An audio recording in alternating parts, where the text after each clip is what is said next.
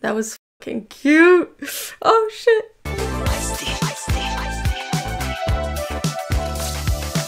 Alright, real quick before I get started with episode 3 of The Haunting of Bly Manor, don't forget you can get the full uncut, unedited, raw reactions to The Haunting of Bly Manor on my Patreon. The link will be at the top of the description, so if you want to watch the entire episode along with me, as well as get it early, definitely check it out. Otherwise, of course, we'll still be on YouTube, just heavily edited.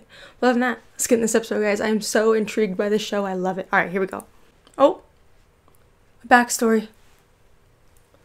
I can't tell if that's his dad or that's someone else. Even if you begged, you said we had to Oh, what the one done. f? He's got an Irish accent, sounds like. Christ, the nanny. Paul Pear, here. Oh, okay, so he's not the dad then. Miss Jessel. I'm Peter Quint. Oh.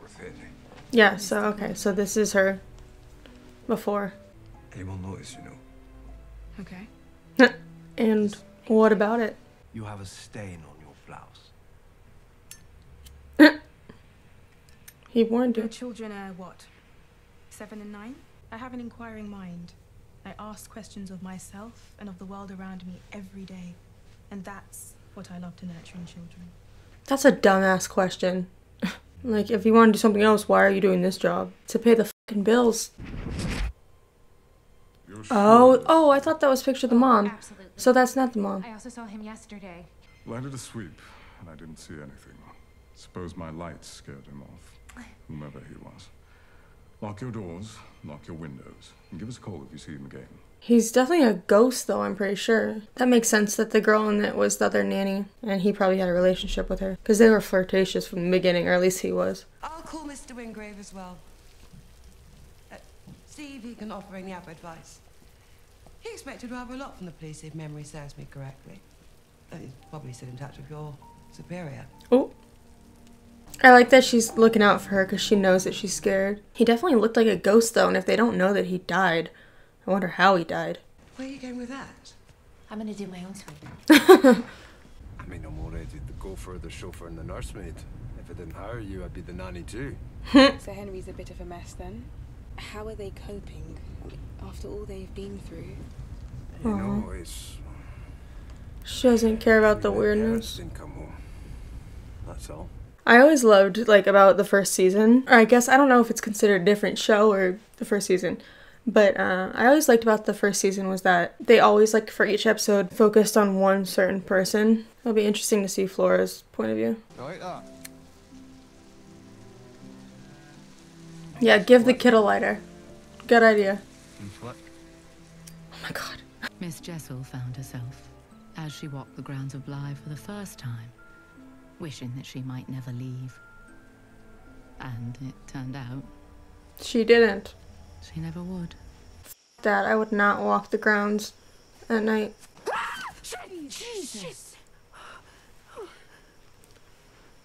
Just two lesbians being fing strong and brave. Hell yeah, work together. Stronger in numbers. How about we stay here tonight? Just in case. Yes, yes. A sleepover. Fun. That would be splendid. A sleepover. That would be fun. What about your mum? It's just for one night. She's already fast asleep. Can I have? Uh, no. Uh. You'll be up all night. Yes, let's stay up all night. Flora. This is all so exciting. We're going to stay up all night long, and it's going to be perfectly. Huh? Thought they weren't supposed to walk around the place at nighttime. You're supposed to stay in your room. I'm surprised that she wants to be out. What if he's the one who's been ringing here and hanging up? Well, I thought those were prank calls. Well, maybe not. Right? It could could have been him. Or maybe he spent all the money or had second thoughts. So did he use her to steal from him?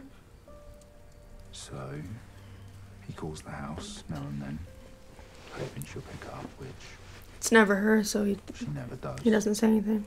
Or he finds out that she killed herself and then came and he killed himself too. I'll make one of you, Miss Jessel. What's your favourite colour? Hmm.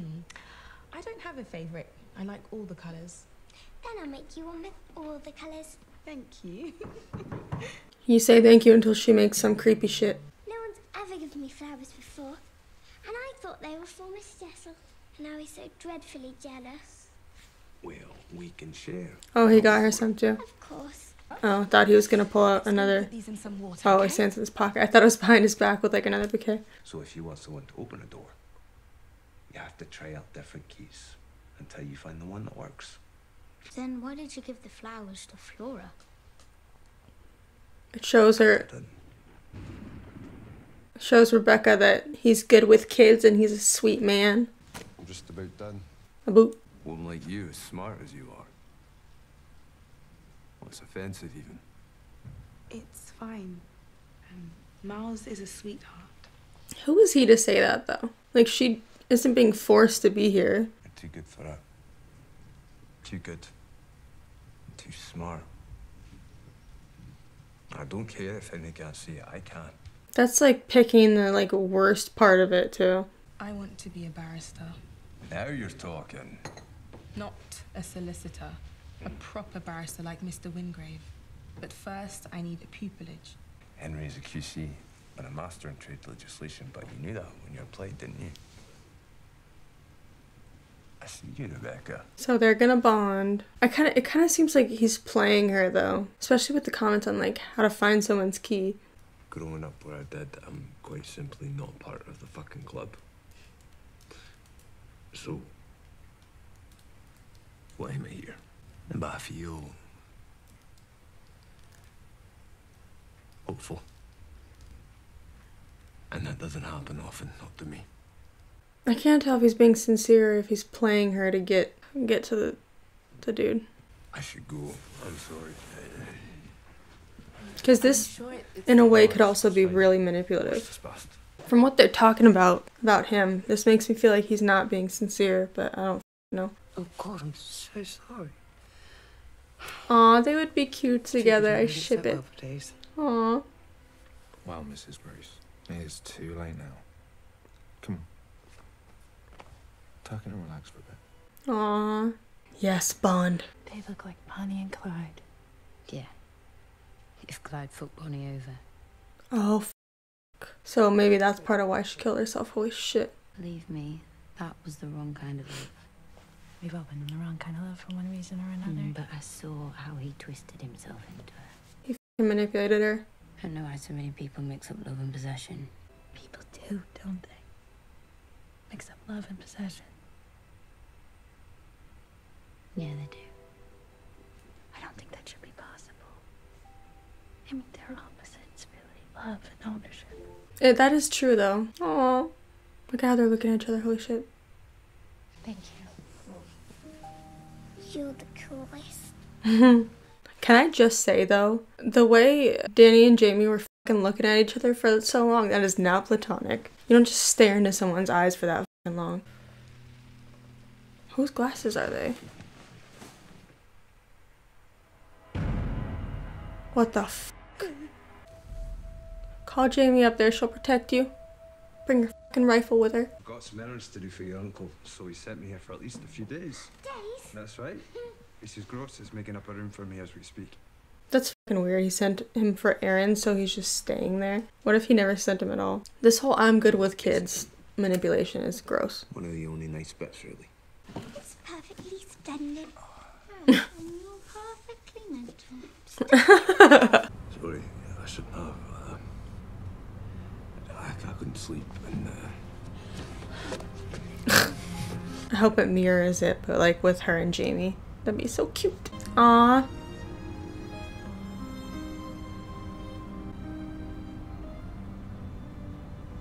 What the f- What does that mean? I can call him and uh, stick around here just in case. No, no, really. uh, I'd feel just awful. Oh, it's only one day. I'm sure she can use it. He wants to be around her a bit. Hmm. It's gone. Fuck. Once we find Flora, let's make a day of it. What do you mean find Flora? Isn't she in her room? What the f- You said your favourite colour was all the colours, and Miles says if you mix all the colours in the world together, you get black. He stayed the night, you know. Well, it is fun to have him here. Maybe that's why she doesn't name the dolls or like say that they're a certain person anymore. Maybe she like dropped it in the lake or something. Oh no, she still has it.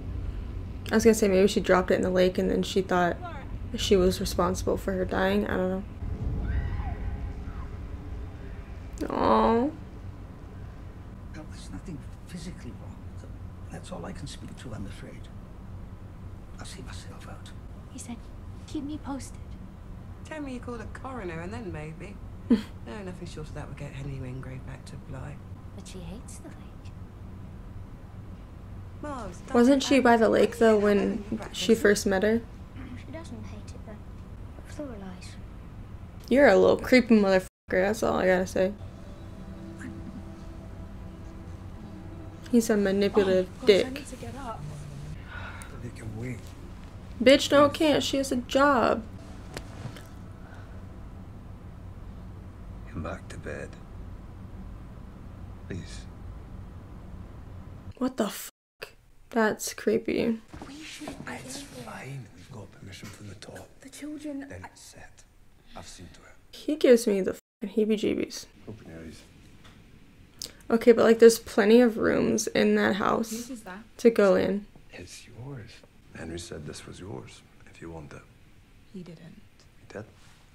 Did he though? Don't feel bad. She's gonna find some picture or some shit with her in that jacket. See, for a like that, I you have to mean, feel it on your skin.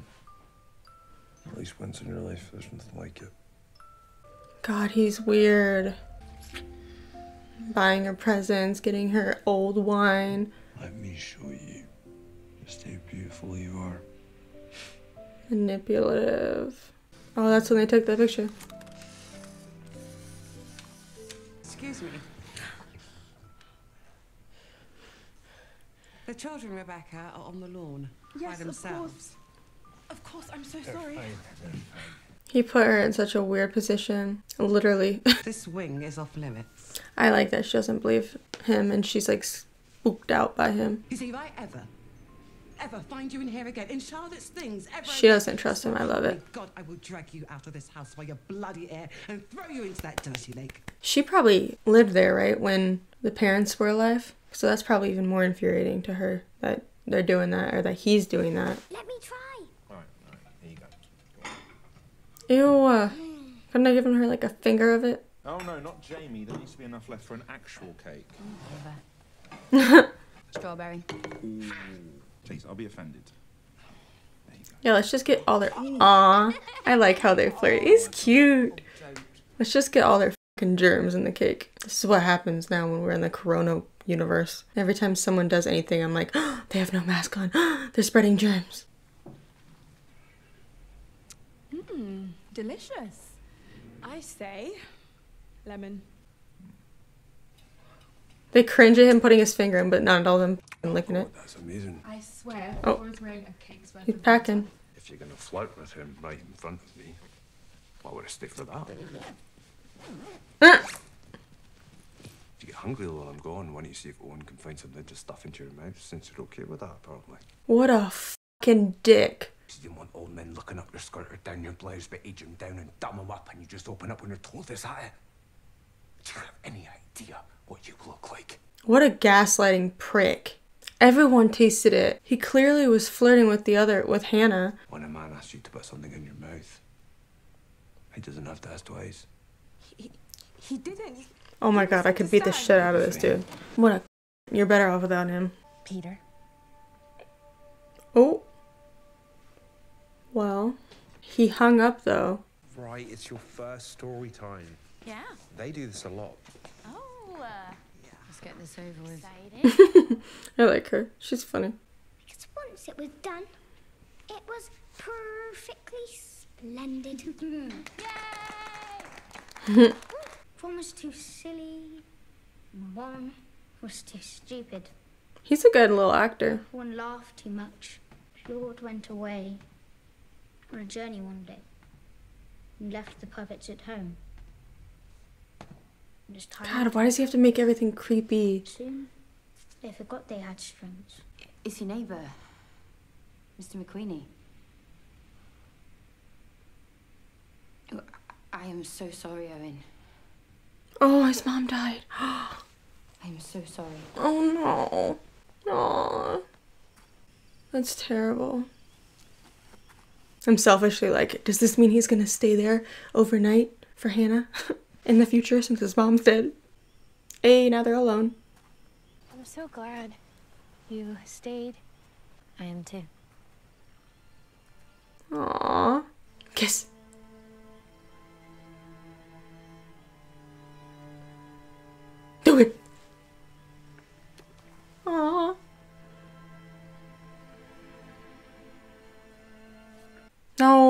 Bitch, do it. Come on. Oh, does she not normally stay the night? I was thinking she lived there. Who the hell knew? Who the hell knew you were gay? Aw, that was fucking cute. Oh shit. You're just gonna leave her alone, bitch? What the fuck? Woo! Who is that? Is that why she has the glasses? What is that? What the fuck? Ooh. Okay. That was fucking scary. That was so good. Alright, there we go. That was The Haunting of Bly Manor, episode 3. This was so good. So we see these flashbacks about Rebecca and Peter and how that all came about. And we find out that, that the person in the picture is Rebecca. It was not the mom or the dad or anything. It was Rebecca. And they had taken it in that room when he gave her this fur coat. This entire time, he's manipulating her. And we find out later on that he steals from Mr. Wingrave and that's kind of like he kind of uses Rebecca to get get what he wants and then she like has to stop I guess because Hannah walks in and is like you're not allowed to be here end of story. The entire time Hannah feels like weird about Peter and rightfully so because he's fucking creepy and I feel like honestly I doubt he was ever like even in communication with Mr. Wingrave. I feel like he had like no permission to even be there and all of a sudden he just showed up saying like oh he told me to come here you know?